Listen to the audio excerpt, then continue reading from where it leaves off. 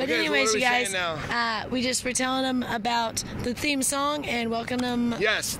Uh, thank you, everyone, for all of your continued support. I really appreciate it. Um, and keep flowing the ideas. And keep, it's you guys are the ones who are motivating me to continue to press this forward and to reach out to Ice Cube.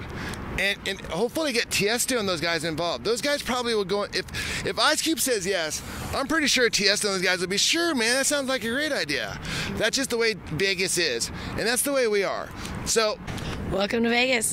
And we're looking forward to, we're going to see Ice Cube during the NFL draft. Guys, we're also going to try and come down Kind here and check out NFL draft. But he is going to be here that weekend. And we're going to see him at the Orleans. And maybe we'll get a chance to talk to him. You never know. We'll see. Anyways, but.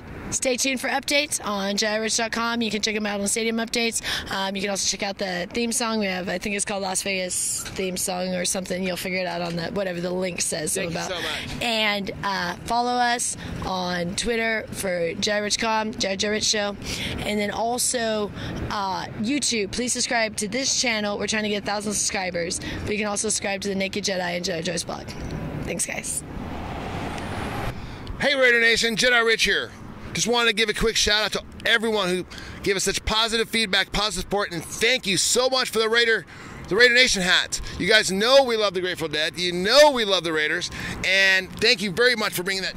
Las Vegas Raiders 2025 Super Bowl champions.